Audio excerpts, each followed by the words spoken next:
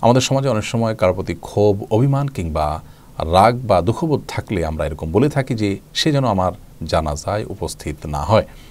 এরকম উক্তি করা কোনো বুদ্ধিমান মুসলমানের জন্য শোভনীয় নয়, উচিত নয়। তার কারণ হলো, আমাদের মৃত্যুর পর আমরা জীবিত মানুষদের দোয়ার মুখাপেক্ষী। মৃত্যুর সঙ্গে সঙ্গে আমরা নিজেদের জন্য আর কিছুই করার সুযোগ থাকে না। তখন জীবিতরা আমাদের জন্য দোয়া করলে সেটি আমাদের উপকারে আসতে পারে।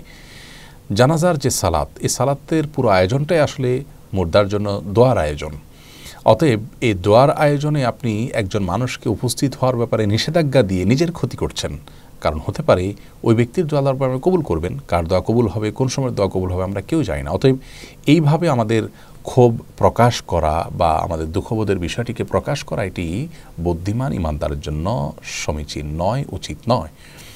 আমরা আমাদের ক্ষোভ বা দুঃখবোধ থাকলে সেটিকে বৈধভাবে বা যৌক্তিকভাবে অবশ্যই প্রকাশ করতে পারি। আপনি কারোর সাথে রাগ করে তিন দিন পর্যন্ত কথাবার্তা বললেন না, সম্পূর্ণ তাকে ত্যাগ করে চললেন এই সুযোগ আছে। মানুষের সহজাত রাগের বা ক্ষোভের প্রকাশ ঘটানোর বিষয়টিকে ইসলাম সম্পূর্ণ অনুমোদন করে। কারণ আল্লাহ আমি সৃষ্টিকর্তা হিসেবে আল্লাহ জানেন যে মানুষের এই দুঃখবোধ লাঘব করার জন্য এই ধরনের ছাড় বা এ ধরনের সুযোগ দেওয়ার প্রয়োজন আছে।